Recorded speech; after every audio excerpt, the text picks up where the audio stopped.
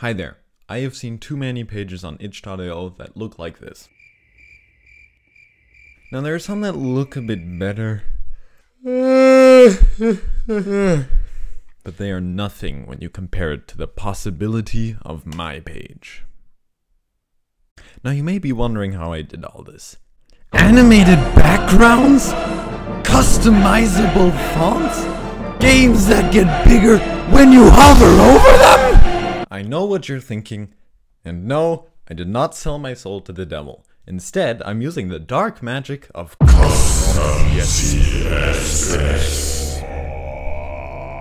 But before we get to all of that complicated stuff, let's start out simple. Go to your profile and hit the Edit Theme button. Now you will notice on the left here a bunch of options which the more cleverly informed YouTubers I showed earlier were using. Stuff like background images, text color, fonts, and even a banner.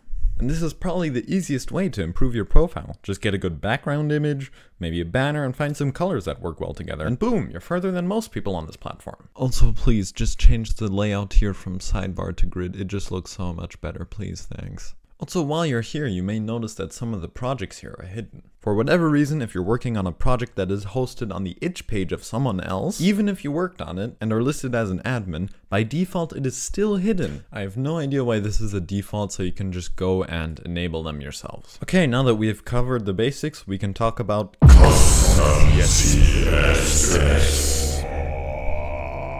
Basically, whenever there's text here, you can go to the HTML part of it and add a bunch of dividers here. These will divide your text and images into certain sections, and then you can add classes and then use those classes for your custom CSS. There are countless things you can do, stuff like background colors, alignment, animation, size, rotation, and so much more.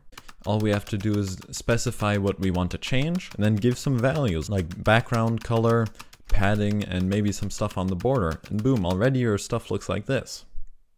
If you want to take it the extra step further, you can add a hover part here.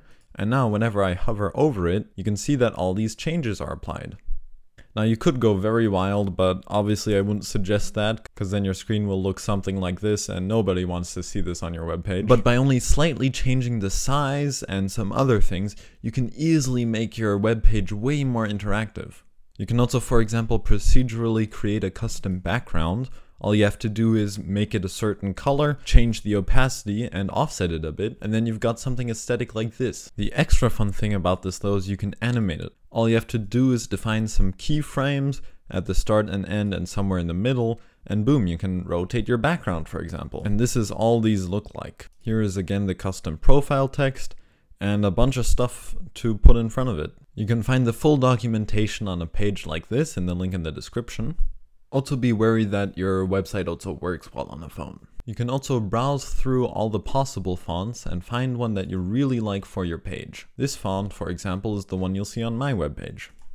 Okay, well how do you get it? Getting access to custom CSS is not that hard, but it does require a couple steps. Itch has a CSS guide with a lot more detail. You can look at that with the link in the description. But basically you're gonna want to send an email to the itch.io team and in your message, you want to explain what you want to do with custom CSS that can't be done with a normal itch.io editor. Because if a feature is asked for many times, then itch.io will just add it to the normal editor. Also be sure to send a link to your account in your email. Now it may take a bit, but before you know it, you'll have permanent access, and then you can do all the stuff I showed. The great thing is that if you're working in a team project, the whole team will have access to the custom CSS, as long as one person already has it enabled. Anyway, I hope you guys enjoyed the video, but if you guys are interested in improving the looks of your games without putting like any effort at all, you can check out this video here.